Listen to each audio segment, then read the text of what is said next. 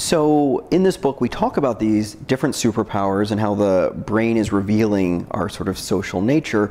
One of these superpowers that's kind of counterintuitive is our tendency to feel social pain, to feel bad when others reject us, exclude us, uh, end relationships with us. Uh, it, it's hard to imagine how that's a superpower, but it turns out that it's absolutely essential to our survival and success as a species.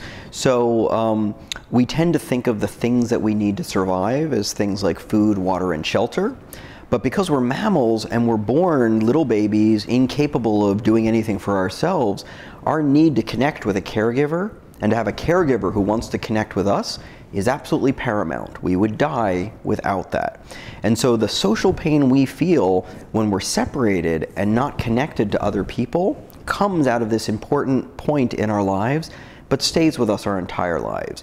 The research that we've done in my lab and in other labs has discovered that when we are socially rejected, when we feel social pain, the brain looks very much like it does when you feel actual physical pain.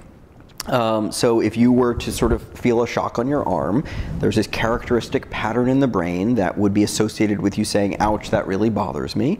And that same pattern would come online when you were playing a game and two other people left you out of the game for no good reason.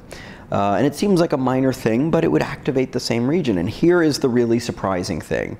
If you take paracetamol, or in the US, what we call Tylenol, it makes these effects go away. It'll make the physical pain effects go away, that we know about, but we and others have found that it will make the social pain effects go away. The brain response will change, our experience will change, and that's pretty surprising, but it speaks to how deeply wired this biological need for social connection is, that the brain really treats it as a kind of pain.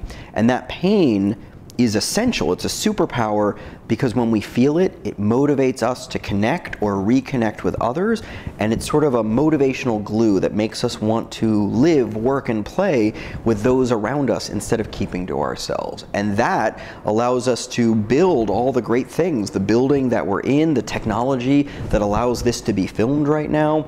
These are things that are magical because of our ability and tendency to come together.